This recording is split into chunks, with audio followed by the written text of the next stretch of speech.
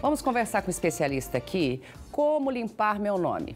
É a sua preocupação? Vez ou outra nessa pergunta invade aí os pensamentos de muitas pessoas e você acaba aí mirabolando possíveis alternativas para quitar as dívidas, retomar aí o seu score de bom pagador, porque agora tem esse lance de score, né?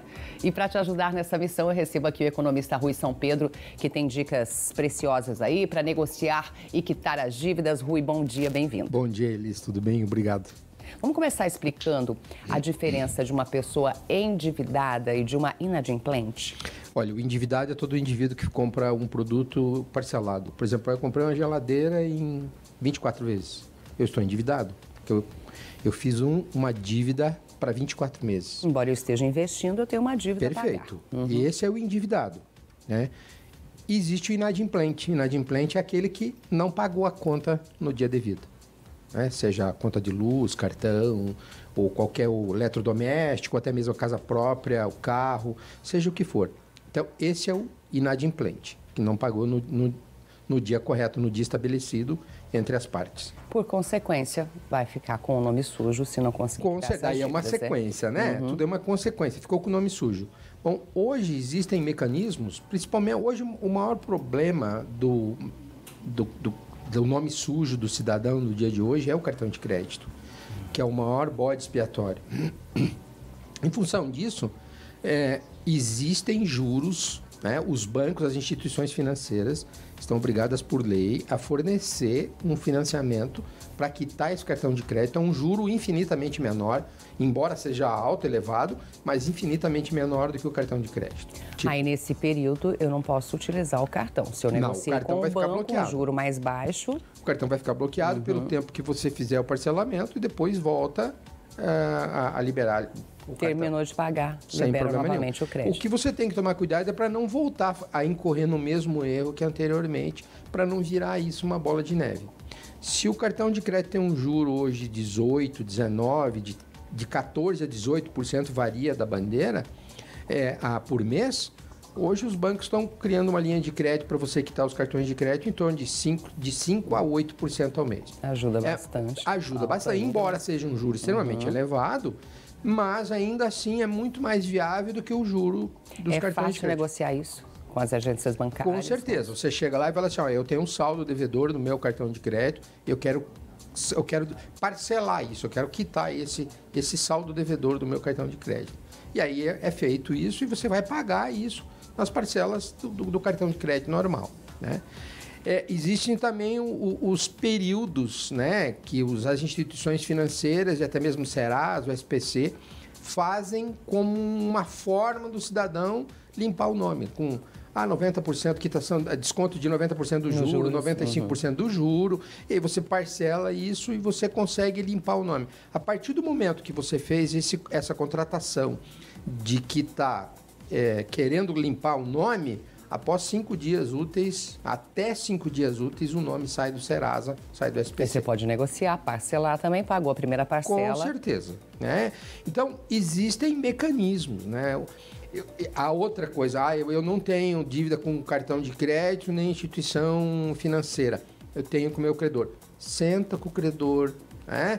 vê qual é o desconto de juro que ele dá, parcela isso, né?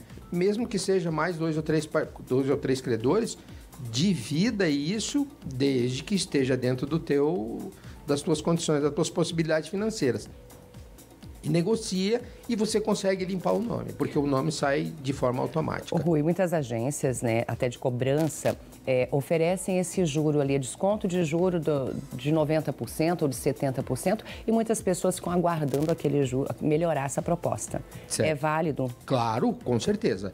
É, todo e qualquer desconto que você tiver, existe o capital, existe aquele valor devedor. E é essa diferença do valor do devedor até é, para o valor novo de hoje é o valor atualizado, acrescido de correção, mais juros. Né? Então, toda vez que você falar em desconto de 90%, 95% de juros, é viável.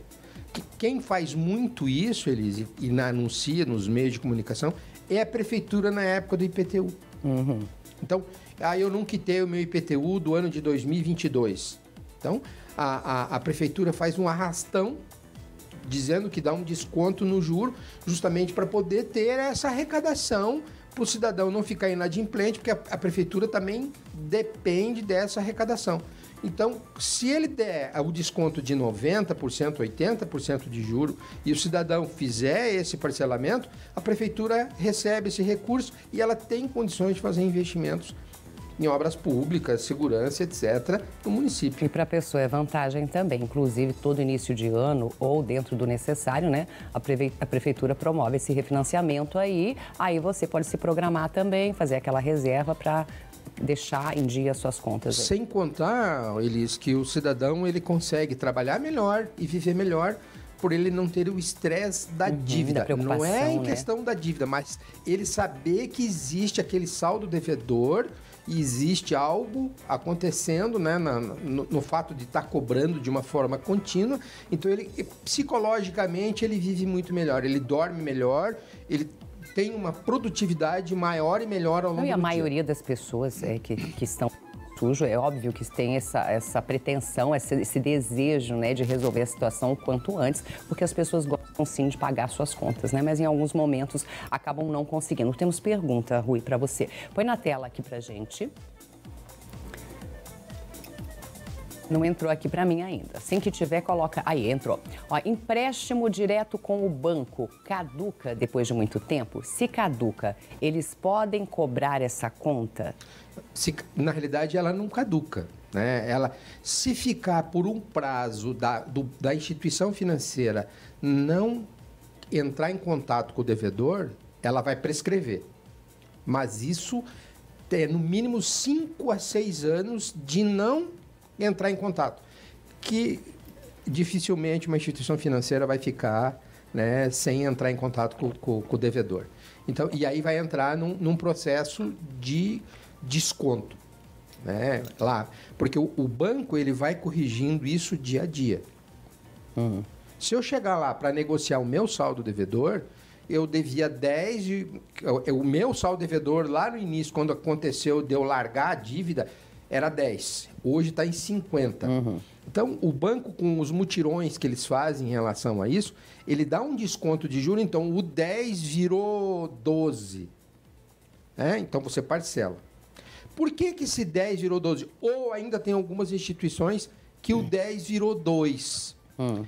Porque todo, toda vez que o banco vira de ano, quando chega dia 31, que o banco faz o balanço, aquela conta inadimplente que eu tenho junto à instituição, ele vai para uma conta chamada prejuízo. E aí, a partir do momento que eu que o banco entra em contato comigo e fala assim, olha, você tem um saldo devedor aqui, o 10 mil virou 30 mil, mas eu vou fazer um desconto e os 30 mil vai virar 5 mil. Esse é um crédito. Então, naquela conta. Que a agência já considerava perdido, já recuperar perdido. uma parte. Daí ela né, entra como lucro para o banco. Uhum. Mas o lance de caducale, que foi a pergunta, Rui, é, não tinha uma, uma ideia, ou tinha antes essa, essa questão de, ah, daqui cinco anos essa dívida caduca. Caduca ou não? Não, não caduca. Não caduca. Vai sempre ficar vai ficar Vai ficar apontada no banco, porque uhum. amanhã ou depois, um dia, quando você for na instituição fazer algum empréstimo, aquela conta vai estar tá lá. E, e o banco não vai, não, conseguir. não vai conseguir. Você uhum. não vai uhum. conseguir esse empréstimo. Então, legalmente eu não paguei, mas legalmente ela existe. É, a agência pode até deixar de te cobrar, parar em algum momento de, de, de realizar as cobranças, mas vai ficar registrado lá. Isso interfere no score? Com certeza. Ah. O score dele cai, cai, cai verticalmente, ele passa a ser um mal pagador. Né? Uhum. O score, tudo afeta é, esse processo de, do score. Se o indivíduo é bom pagador, ele sobe, o score dele é alto, e ele consegue um volume maior de empréstimo com um juro menor, e quanto menor o seu score, menor a possibilidade de, de empréstimo, e o juro é muito maior, porque o risco é maior da instituição não receber esse dinheiro. Uhum, até temos perguntas sobre isso. Ó. Quanto tempo depois de quitar minhas dívidas, o score melhora? E o que fazer para ter score alto? o score ele vai, ele vai elevando, ele vai, ele vai se somando a partir do momento que as dívidas vão sendo quitadas. Ah, eu quitei uma dívida, então o meu score vai subir. E leva aí de 3 a 4, 5 anos para o score elevar. E o score máximo, tido como um ótimo pagador, ele está em todas as instituições financeiras. levam, quando o cara é inadimplente, para ele ter um score extremamente elevado, ele leva aí seus 4, 5 anos para poder e, e, equilibrar esse score que ele precisa. Agora, pagar a sua conta com atraso vai interferir no score também? Com certeza. Com Qual certeza. é a dica para a gente melhorar A dica esse é não pagar com atraso, é pagar Uhum. no dia, né? De preferência, se você quer aumentar o teu score, ah, minha conta vence dia 10, eu pago dia 8. Pagar sempre com antecedência. Ah, é isso. Normalmente, quando a conta vence no sábado, no domingo, nós normalmente pagamos na segunda-feira. Uhum. Embora legalmente É possível, pode- é possível uhum. ser feito isso. Se você puder fazê-lo na quinta ou na sexta-feira, você está antecipando isso. Com certeza, isso interfere positivamente no seu score. É até na hora né, de fazer a, a compra, o parcelamento, já de repente deixar uma data posterior ao seu pagamento para que você consiga sempre fazer com antecedência. É, eu, por exemplo, faço isso. Uhum. Né? Ah, vai vencer com. Ah, eu quero entre o dia 10 e o dia 15. Recebo dia 15, põe o vencimento lá da conta para dia 20. Isso, isso mesmo. pagar com antecedência. Isso, sempre com datas posterior àquela variação de dias que você recebe o- a- a- a- os teus honorários. Né? Sempre posterior. Para a gente finalizar, mais alguma dica para quem está com o nome sujo e quer sair aí dessas... Aproveite os mutirões. Aproveite Uhum. os mutirões de instituições financeiras, cartões de crédito, Serasa. O Serasa, que antigamente não fazia marketing a esse respeito, faz um marketing violento, principalmente digital, para que as pessoas entrem em contato com o Serasa, para poder fazer a negociação e quitar essas dívidas. E você consegue aumentar, com certeza, você negociando com o Serasa isso, e parcelando, e quitando, e pagando, o teu score vai aumentar de, fo- de forma significativa. Fora isso, aquilo que Rui sempre fala aqui no Tarobá Cidade, né? Porque tem pessoas que ficam o nome sujo em alguns períodos do ano. Por exemplo, início do ano, inúmeras contas, impostos a pagar, material escolar na escola de filhos. Aí, se você não se planejou para isso, óbvio que vai apertar aí, vai acontecer às vezes de não pagar, não quitar alguma conta.